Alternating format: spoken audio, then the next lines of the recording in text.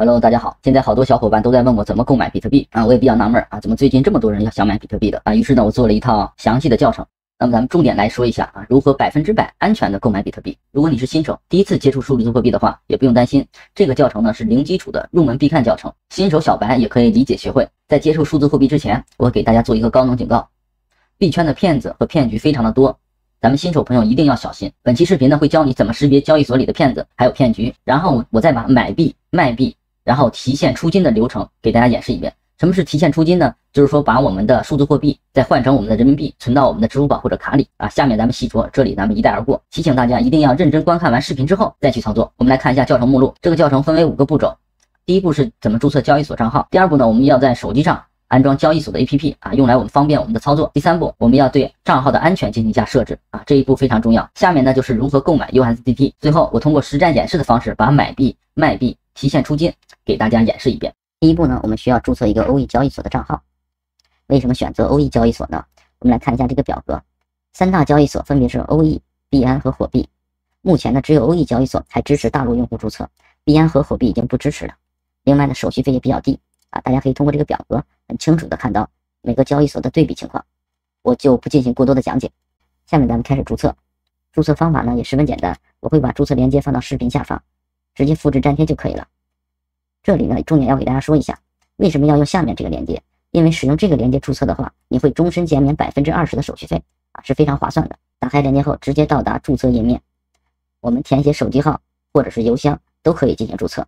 填写上之后，然后点击领取盲盒，它会给我们发送一个验证码，填写上去就可以注册成功了，非常的简单。现在呢，官方有一个活动，注册完成它会奖励一个盲盒。当然了，它这个。说的肯定比比比较多啊，一般情况只能开出来几十块钱吧啊，具体的话要看运气啊，你可能运气好，说不定你能开出这么多，对吧？第二步呢，我们需要在手机上安装欧易 APP，安卓手机的话安装起来还是比较方便的，直接从官网扫码下载就行。我们来看一下，在官网的右上角这里有一个向下的箭头，大家可以看到我箭头指的这个方向，我们把鼠标移动上去之后，它会弹出一个二维码，直接拿手机扫码下载就行了，非常的简单。咱们重点来说一下苹果手机怎么安装。因为国内的苹果应用商店里没有 O E A P P 啊，你是下载不了的。所以说呢，我们需要先准备一个海外的苹果 ID。这个海外 ID 怎么获得啊？我们来直接通过百度搜索购买苹果 ID 啊，使用谷歌也可以啊，里面有很多都是卖账号的啊，直接可以从他们那买一个就行了啊，好多都是啊，基本上一搜一大堆。有了账号之后呢，我们就需要把第三步，我们对交易所的账号进行一下安全设置。在登录 APP 后啊，不要着急买币，一定要先设置好安全信息。这里呢，我们需要完成两步操作，第一步叫身份认证，第二步叫安全设置。下面大家跟我一步一步进行操作。打开 APP 之后，我们点左上角，这里有身份认证。在身份认证里面啊，分为基础认证、高级认证和视频认证。我们呢，完成第一项基础认证啊，就可以进行买币了啊。如果你以后的交易量大啊，你可以把这个高级认证啊进行一下认证。然后我们返回一下，看下面的安全安全中心。安全设置里面呢，它有四种选项供我们选择，有谷歌验证器，有邮箱验证、手机验证，还有防钓鱼码。我呢选择的是邮箱和手机啊。这里呢，大家根根据自己的情况啊进行选择啊。有的人喜欢用谷歌验证器的啊，就把这个打开。到这一步，我们的前期准备工作啊就已经完成了。第四步呢，我们就需要购买 USDT 了。到这里呢，很多同学就比较纳闷了，什么是 USDT 啊？为什么要买它呢？我们来简单的说一下。USDT 啊，我们的中文名我们把它叫做泰达币，我们简称为 USDT 啊。很多时候呢，我们通常把它叫做 U，它呢是一种稳定价值的货币，一 U 就等于一美元。我们账号里的 USDT 啊，是随时可以按照美元的汇率兑换成我们的人民币的。在我们的真实世界当中，美元就是一种通用货币。同样，在我们的虚拟货币当中，也需要有一种通用货币啊，那就是泰达币。那么我们需要购买比特币啊、狗狗币这些数字货币的时候呢，人民币是不能直接购买的。所以说呢，我们需要先使用人民币兑换成 USDT，然后再使用 USDT 啊购买我们的比特币、以太坊啊这些数字货币。它呢是一种这样的流程关系。下面呢，大家跟我一起进行一下购买 USDT 的实战操作。它的流程呢这里有，大家可以仔细的阅读一下。下面咱们看我操作，在 APP 首页呢，我们点击我要买币，弹出一个选项啊，我们选择 C to C 买币。这里呢有很多商家，我们可以从他们手里购买泰达币。这里呢大家需要注意一下，一定要选择交易量大的商家。防止呢我们的银行卡被封。我们来看一下交易量在哪里显示啊？大家仔细看，每一个商家后面都有它的成交量，大家看到了吧？我们要选择成交量高的高一些的啊，这个是六千多。你再往下找一找，你看这个成交量只有五十九，这样的大家不要选择，一定要选择成交量比较高的。大家看这里呢有一个一万两千多的啊，所以说呢我们选择这个商家还是比较靠谱的。我们直接点击购买，我们在这里呢可以写入我们想要买入的金额，比如说我要想买一千的啊，我直接写一千就可以了，买多少写多少，写上购买的金额之后呢，我们直接点下方的购买 USDT。啊，我们直接点击下一步就可以。现在呢，A P P 上提示，请使用支付宝转账。啊，不同的商家支持不同的支付方式。啊，可以是银行卡、微信啊，或者是支付宝。啊，当然了，这个商家是可以使用支付宝的。下面呢，就是它的支付信息，上面有提示啊，有我们的购买金额，有对方的收款信息啊，叫陈烨啊，对方的支付宝账号。我们呢，打开支付宝，给这个陈烨进行转账就可以了。这里呢，大家需要注意的是。一定要使用自己姓名的账户进行转账啊，否则的话，对方会扣一扣一部分的手续费，然后会把钱再给你退回来。这里呢，大家一定要注意。假设呢，我们现在已经转完账了，在转完账之后，这里需要大家注意一下，一定要及时回到 OEAPP 当中，点一下我已转账通知卖家，这样呢，卖家就会及时的把 USDT 转到我们的账户当中。如果你没有点这个的话，过一段时间这个订单会就会取消掉啊，我们的钱就会白转了。所以说呢，大家一定要注意。转完账来点一下，我已完成转账，就是这个按钮。这一点啊，我重复了两遍，大家一定要注意。在你点完这个按钮之后，USDT 啊就会到达我们的账账户当中。下面我们来看一下账户信息啊，我们直接点返回，回到首页之后，我们点击右下角的资产，就可以看到我们当前的账户信息。我这个账户呢，现在有九十九点九九 USDT。你的 USDT 到账之后呢，就会在这里显示了。有了 USDT，下一步我们就可以购买比特币了。第五步呢，就到了我们的实战演示阶段。我将从买币到提现。全流程给大家演示一遍。我们开始买币的第一步呢，就是需要把资金账户里的钱转入到交易账户。有的同学就比较纳闷了，都是我的钱，为什么有一个是资金账户，有一个是交易账户呢？这里呢，我简单给大家解释一下。顾名思义，资金账户就是我们的钱在这里存放着。那么交易账户很很好理解啊，就是我们拿出多少钱进行交易。比如说，我们的账户中有一万 U，但是呢，我我们不是全部都拿来进行交易。我们可以拿出一千英进行交易，剩下的还在我们的资金账户里存放着。下面咱们来看一下如何操作。在 A P P 当中，我们直接点资产，这里有一个资金划转啊，我们可以将资金账户的钱转到交易账户，同样也可以将交易账户里的钱转到资金账户。下面呢，我们写入金额，转多少就在这里写多少啊，我们可以直接点最大，点击确定就可以了。我们返回看一下，现在资金账户里的钱就是零，交易账户就是九十九点九九。下面呢，咱们就可以进行购买数字货币了。我们点击中间的交易按钮，第一次操作的朋友看到这个界面会比较发懵啊，有好多按钮和数字啊。下面咱们简单的来说一下，在最上方这里是选择币种，什么意思呢？比如说我想买比特币，那么我们就选择第一个比特币，然后选择现货交易，也就是第一个。如果你想买以太坊的话，我们就在这里选择以太坊就可以啊。以太坊的缩写是 ETH 啊，我们就可以选择这个。同样也是选择最上面的现货交易。我们继续往下看，这里呢一个买入一个卖出啊，买入我们就点左边的啊，卖出我们就点右边的，很好理解。再往下看，这里呢是让我们选择委托方式，它呢有好多种委托方式，最常用的是现价委托和市价委托。这里呢我简单给大家说一下，市价委托就是以当前的价格立即成交，比如当前的价格是多少？我们看一下是幺八七三，如果我们选择市价委托，我们就会以当前的价格立即成交。但是有的同学想等价格低一些了再买，这时候我们就用到的功能叫做限价委托。它的意思就是说，等跌到我们想要的价格后，自动进行成交。比如现在我们想等价格跌到幺八零零的时候再买，我们只需要在这里选择限价委托，把价格这里修改一下，改成幺八零零。这样设置之后，等价格跌到一千八的时候，就会自动买入。咱们继续往下看，数量这里我们不用管，我们只需要把金额这里填上就可以了。比如我想买一千 U，我们这里直接写一千就可以了。那么一千 U 就可以买到零点五五个以太坊，这里呢它是自动帮我们计算的，我们直接点入买入就可以了。当然我的账户里现在只有九十九 U 是不够的，它这里呢就提示余额不足。好了，买入操作呢我就说到这里，是不是非常简单？下面咱们来算一笔账，比如说我买入的价格是一千六，等过了两天，以太坊的价格涨到了一千七，这个时候我们来计算一下收益，是不是就用一千七减去一千六？就是我们盈利的部分，就相当于我们赚了一百 U 啊，也就是一百美金。假设咱们现在已经赚了一百 U 了，想要把币卖掉，应该怎么操作呢？我们来看一下，回到我们的交易界面，这一次我们是不是应该选择卖出了，对不对？我们选择卖出。下面的委托方式这里，我们选择市价委托，然后选择我们要卖出的数量。这里呢有一个滑动条，我们可以选择卖出百分之五十，也可以选择卖出百分之百。百分之百的意思就是说把我们持有的所有数字货币都卖出。这里呢大家可以根据情况啊自己选择，然后直接点击卖出就可以了，是不是非常简单？最后呢咱们来说一下如何把赚到的 U 提现到银行卡。支付宝或者微信啊，这三项都是可以的。首先呢，第一步我们需要设置一个收款账号，这个收款账号可以是银行卡，也可以是微信啊，或者是支付宝。下面大家看我演示，打开 APP 后，我们需要在我要买币这里设置一下收款账号，C to C 买币，选择右下角我的，这里有一个收款账号管理。我们进去之后，需要在右上角添加一下收款账号，可以是银行卡、支付宝、微信都可以，这个呢大家自行选择。添加好账号之后，第二步我们需要从 OE 里挑选一个可靠的买家，在 APP 里选择我要买币。有同学会比较纳闷啊，我们不是要卖币吗？怎么要进买币呢？这里呢，买币和卖币是在一个板块，C to C 买币。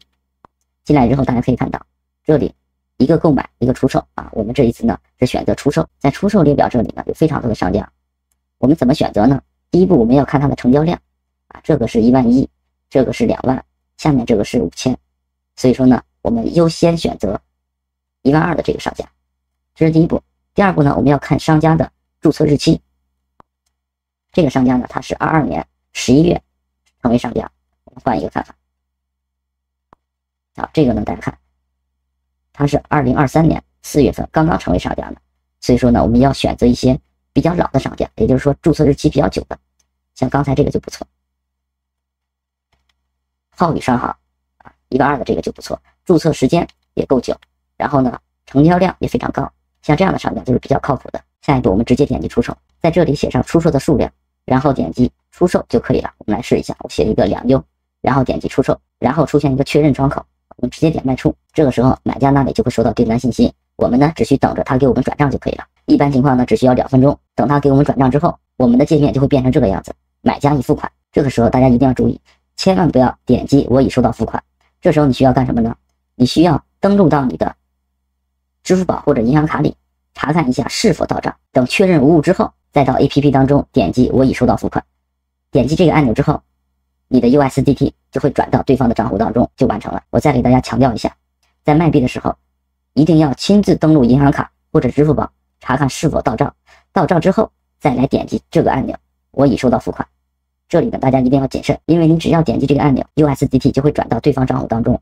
这个呢，就像我们淘宝买东西的时候确认收货一样，所以说呢，大家一定要注意。到此为止呢，我们的入门实战教程就已经结束了。大家有任何问题呢，可以到视频下方进行留言，我会给大家一一解答。想要了解更多币圈知识的小伙伴，可以关注我的频道“炒币大师兄”，每天都会给大家分享最新币圈资讯。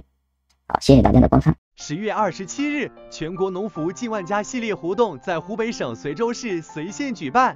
来自全国各地农业农村领域的嘉宾齐聚一堂，交流农业社会化服务典型经验，共话农业社会化服务高质量发展大事，更好推动稳粮扩油、稳产保供、服务增效。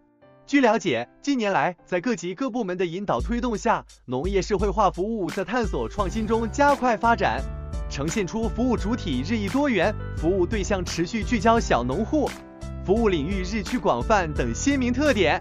目前，全国各类服务组织总数超过一百零七万个，服务面积超过十九点七亿亩次，服务小农户九千一百多万户，对保障粮食和重要农产品稳定安全供给，促进小农户和现代农业发展有机衔接，推动农业现代化发展发挥出越来越重要的引领支撑作用。农业农村部总畜牧师、农村合作经济指导司司长张天佐出席活动并讲话，他强调。当前和今后一个时期，要进一步加大引导、推动、扶持、服务规范力度，加快推进农业社会化服务扩面提质增效。要强化服务主体能力建设，推动社会化服务向经济作物、畜禽养殖、设施农业等领域拓展，建立健全行业管理规范性制度，发挥试点引入、典型示范的引领作用，更好地支撑小农户和农业现代化发展。在推进社会化服务发展中，要充分保障农民的经营自主权，根据农民的意愿和生产需要，发展单环节、多环节或全程服务，让小农户获得更加优质便利的服务。会上，湖北省随县、山西省吕梁市、安徽省喜羊羊农业科技有限公司、江西省吉安市沁源区、河南省浚县、湖北省种联粮食生产专业合作社联合社、湖南省隆平好粮科技有限公司等中部片区农业社会化服务典型做经验交流。活动期间，与会人员还前往环潭镇岳雄峰万亩油茶基地。安居镇随州红云农业发展有限公司、新街镇随县田管家农业服务有限公司进行了现场观摩。二零二三全国农服近万家系列活动由农业农村部农村合作经济指导司指导，湖北省农业农村厅、中国农业农村服务业联盟主办，中国农业电影电视中心协办，湖北省随州市农业农村局、湖北省随县人民政府承办。活动采取线上线下相结合的方式进行，在央视频、农视网、中国三农发布、三农头条、乡村振兴 TV、咪咕视频、百度百家号、今日头条、抖音、快手、视频中国、斗鱼、新浪新闻等二十余家平台和矩阵账号同步直播。各省区市农业社会化服务工作部门组织县级农业农村部门有关负责人、服务主体及广大农户观看了线上直播。由张九云执导，袁云编剧，欧豪、张慧文、赵志伟领衔主演。实施特邀主演任佑伦、王一哲、阿丽亚主演的热血传奇年代剧《前夜》，今日十月十三日于山东卫视播出。《前夜》以一个混迹码头的小人物林夕、欧豪氏为切口，讲述了一个被迫卷入多方势力纷争的普通青年，如何蜕变为一名有理想、有信仰的共产党员，以及围绕在他身边的兄弟。亲人、爱人又是如何在动荡的时局中走向属于自己的未来的故事？换套路三段式叙事法，前野在叙事策略上摒弃了传统的线性叙事模式，截取了三个重大历史事件发生的前夕，即一九四一年上海租界孤岛时期、一九四八年锦州战役前以及一九四九年上海解放前，将故事分为三幕。这三幕分别作为剧情不同阶段展开的基石，将充满成长弧光的小人物与家国天下之大变革巧妙结合，深刻地刻画了不同阶段中的人物关系变化与人物命运走向，打造出充满张力的故事脉络，同时也令人充分感受到热血年代剧的传奇之处。除此之外，钱叶还擅长以情写人，打造群像。展现了丰富动人的亲情、爱情、友情、家国情，这种多种情感的融合，在不同时期成为推动人物关系转变和角色的关键动能，也让观众能够理解为什么这些小人物依然会有理想与信念的坚守，以热血的强情绪输出，打造全剧热血传奇年代剧的特殊观看体验。大手笔，沉浸式电影感。本剧导演张九元曾在英国伦敦艺术大学学习视觉艺术专业，在视觉呈现方面，他对自己和剧组都有着很高的要求。创作团队根据剧情中的三个阶段以及解放后的部分，单独设计了四种不同的影条。摄影指导陈玉新制定了一套戏剧性灯光设计，每一个阶段的影调基本都以戏剧性为前提，营造一种类舞台形式的光影氛围。夜戏用红蓝混合的霓虹光做底，体现一九四一年上海租界的繁华与灯红酒绿，在质感上最大程度去营造现代感，让民国片也能散发出赛博朋克风。在白天的戏份中，画面更是充满了迷踪感与复古感，部分室外的场景甚至使用到了夜拍日，通过更好的控制光比，营造出了一种极致暗黑的调性。这种情绪与氛围的烘托，使前夜的好看落在了三个字上：电影感。前夜将紧凑节奏与热血氛围巧妙结合，讲述了一段抗战时期的上海底层小人物们如何为了理想曲折而战的信仰养成史。彼时上海正值动荡之期，男主林夕和兄弟李于飞、任佑伦氏因神秘钥匙与热血女学生苏楠、张慧文氏及军统特工周应群、赵志伟氏结识，但他们都万万没想到。这把钥匙背后的真相远比想象中更加复杂，各方势力分治，在一次次敌我关系的变换以及生死的较量中，钱也不知何时才能迎来破晓，而他们最终能否共同破解敌人的阴谋，一起坚守住自己心中的理想？每日十九点三十五分，锁定山东卫视黄金剧场，我们共同揭晓。问：近期股市出现波动。投资者对于资本市场重融资轻投资的争论较多，请问您对此有何看法？答：这段时间以来，资本市场震荡走弱，波动加大，不少投资者深感忧虑，提出意见建议，我们认真倾听，感同身受。我们深知，只有广大投资者有实实在在的获得感，资本市场平稳健康发展才能有牢固的根基，从而真正实现稳市场、稳信心。保护投资者，特别是中小投资者的合法权益，是证监会的法定职责，也是我们工作的重中之重，是监管工作政治性、人民性的直接体现。目前，我国股市有二点二亿投资者，基金投资者更多，这是我国资本市场最大的事情。也是我们巨大的优势。从历史看，我国资本市场建立之初，广大中小投资者就是最主要的参与者。可以说，没有亿万中小投资者的积极参与，就没有资本市场三十多年的发展。他们是市场的功臣，保护好广大投资者是我们巨大的责任。从现实看，股市已经成为居民配置资产的重要渠道，市场波动直接关系老百姓的钱袋子。相比机构投资者，个人投资者，尤其是中小投资者，在信息、资金、工具运用等方面存在劣势，更容易受到财务造假、欺诈发行、操纵市场等违法违规行为的侵害。这要求我们牢固树立以投资者为本的理念，始终把保护投资者，特别是中小投资者合法权益作为工作的重中之重。这些年，我们一直在努力，但落实中还有不到位的地方。距离大家的期待还有差距，市场投资和融资是一体两面，我们将更加突出以投资者为本，本就是根，根深才能木茂，只有把投资者保护好了，市场繁荣发展才有根基。我们将把这一理念贯穿到市场制度设计、监管执法各方面全流程，加快完善投资者保护的制度机制，全力营造公开、公平、公正的市场秩序和法治环境。让投资者切实感受到市场的公平正义。问：建设以投资者为本的资本市场在制度设计上如何体现？答：建设以投资者为本的资本市场要在制度机制设计上更加体现投资者优先，让广大投资者有回报、有获得感。一是大力提升上市公司质量，上市公司质量突出体现在给投资者的回报上。上市公司要牢固树立回报股东意识，没有合理的回报就不是合格的上市公司。投资者买股票是要回报的，股市的长期回报要能高于存款、债券的收益，才是更加可持续的。我们将进一步完善上市公司质量评价标准，突出回报要求，大力推进上市公司通过回购注销、加大分红等方式更好回报投资者。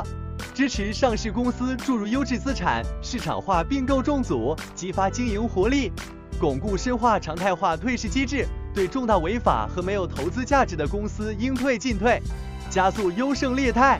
二是回报投资者，要发挥证券基金机构的作用。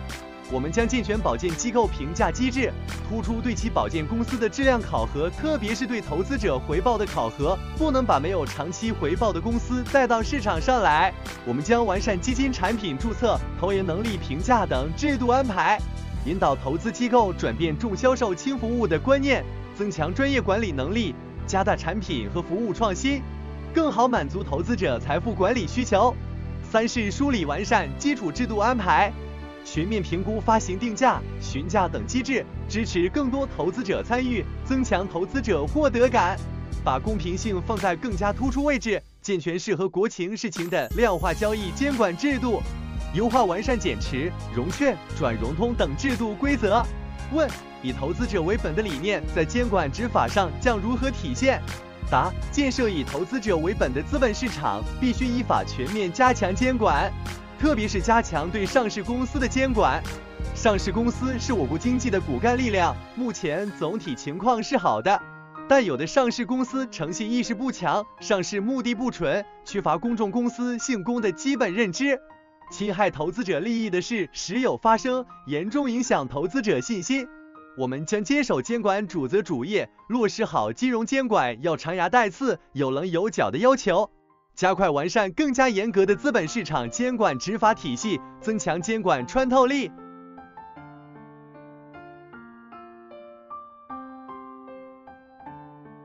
对于欺诈发行等严重损害投资者利益的违法行为，坚决重拳打击，让其倾家荡产、牢底坐穿；对参与造假的中介机构一体追责，让其痛到不敢再为。坚持以投资者为本，本利而道生，保护好投资者，切实增强投资者的获得感，市场一定会走出短期的困扰，回归到稳定健康发展的道路上来。我们坚定相信，我国经济的前景是光明的，我国股市的前景是光明的。最新消息，A 股大逆转，三大股指强势收红。一月二十四日，两市早盘高开低走，午后迎来 V 型反弹。截止收盘，上证指数涨百分之一点八，深证成指涨百分之一，创业板指涨百分之零点五一，沪深两市成交额超过七千六百亿元。